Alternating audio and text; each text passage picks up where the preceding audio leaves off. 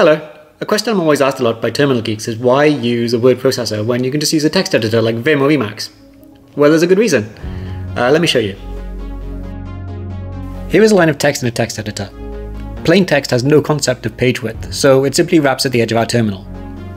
Now we can print that and see how it looks on the page. That's the hard copy command in Vim. So you can see the page wraps at this random location because Vim didn't know where the margins were located. Now let's try that same test in a word processor. The word processor knows where the lines will wrap because it maintains an internal model of the page. You can see it knew where the lines will meet the margins and wrap them correctly. This is called display pitch. Let's look at an example of something you can do with this.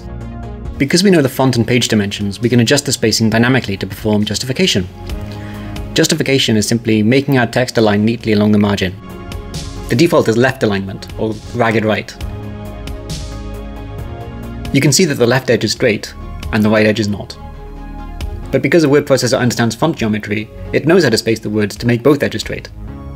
Let's try that. Now the text is fully justified. Uh, something like this is simply not possible in a text editor.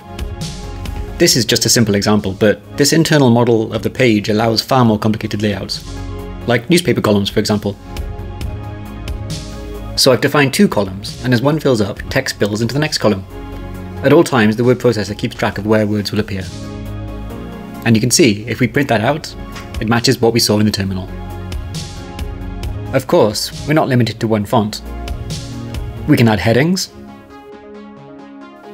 styles, attributes, we can mix fonts and sizes, we can add figures and graphics. Perhaps we're writing a report and want a graph in our document. Well, we can do that too. Let me just generate a pie chart in 123 and I'll add some sample data. WordPerfect has a graphics editor so we can scale, rotate, crop and so on all from within WordPerfect. Let's see how that looks. That looks good, but I think I'd rather have a table than a chart. So let me just get rid of this figure and we'll put a table there instead.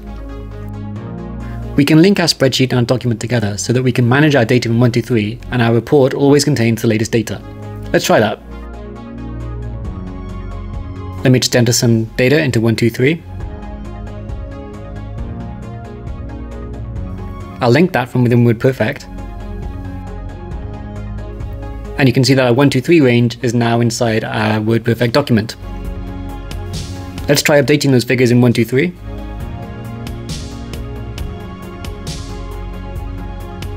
And I'll hit update all links.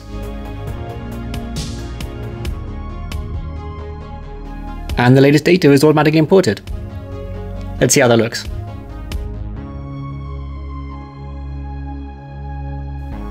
Alright, looking pretty good. Uh, this was just a quick overview of why you might want to use a word processor, uh, even if you're uh, even if you're a Vim expert or Emacs expert. I've only gone over the basics of how you can use it in this video. Uh, it's actually a, a, really powerful program. I've got a copy of the manual here and you can see it's, uh, it's a bit chunky. Um, it's got a ton of features that are rarely seen in a text user interface. In some cases it even blurs the line between a GUI and a text interface. Um, it has graphical features such as print preview, an equation editor, an interactive graphics editor. Uh, I hope you agree it's worth checking out, and all the code is available on GitHub, so give it a shot and let me know what you think. All right, thanks for watching.